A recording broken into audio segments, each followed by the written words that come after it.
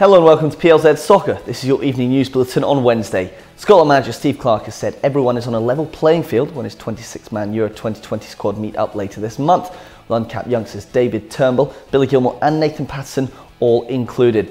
Now, Clarke claimed all three earned their place and give the side more options, whilst insisting all three could place with starting roles. Certainly Nathan Patterson and, and David Turnbull have caught the eye up here in Scotland this year with their performances for Rangers and Celtic. Billy Gilmore's a player that I've known for a long time. I know he's very, very well regarded at Chelsea.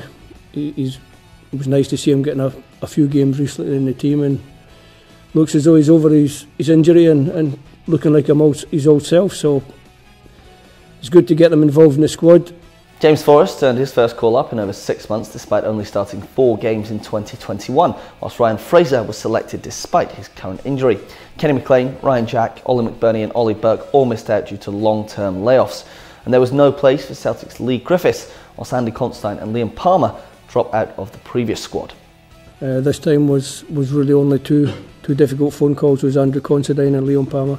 Uh, both obviously very disappointed, but we have the opportunity to make changes to the squad all the way up until the night before the or the day before the first game in the tournament. I've told them all, and it's a message for everybody who, who maybe thought they had a chance to be involved is, is stay fit because with the COVID situation and injury situation, you never know.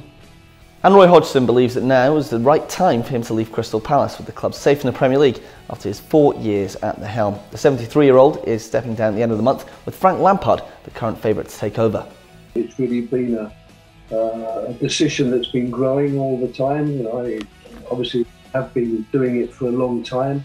Uh, it's a lot of responsibility managing a Premier League club, a lot of commitment. And I just thought now that the time was right. Thanks for watching and don't forget you can like, share and subscribe to our Facebook, YouTube and Twitter channels which is where you can catch up on the football show with Peter and Ruffy. They'll discuss all today's stories at the panel and exclusive guests.